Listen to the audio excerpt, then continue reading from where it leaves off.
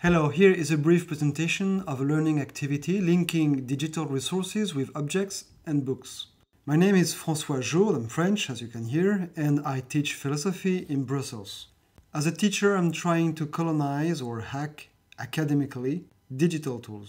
And I help my students to use those tools to develop and show their understanding. My belief as a teacher and as a learner myself is that one appropriates things only in transforming things. And when I publish students' works on a dedicated website, it transforms the nature of work. It's no more just school work. It has become a publication that exists in the open space. So my question now is how to increase this social pedagogy and how to facilitate the access to all those wonderful resources. So my first move has been to use QR codes in the library. So it's a pretty simple idea.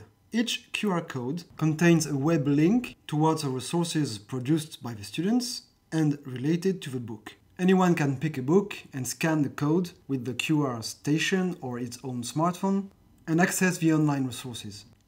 Okay, my second move has been to use augmented reality. For that, I use the free and multi-platform web app and mobile app Aurasma. So this is the philosophy book my students use. It's a paper-only book, there's no digital version of it. And this is how it looks when displayed through the Aurasma screen. Graphical overlays are showing buttons and resources embedded onto the book. For example, by clicking on the video icon, a short video released by a student will play on the exact paragraph of a page related to the subject. Or the overlay could be a mind map explaining visually the written content of the page.